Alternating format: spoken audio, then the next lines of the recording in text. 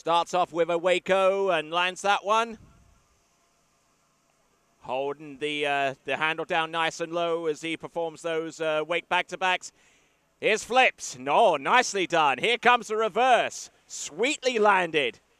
This is the best part of his uh, of his tricking routine. Seems to be more comfortable doing flips than he is doing surface or wake turns. And there you go. He stands up.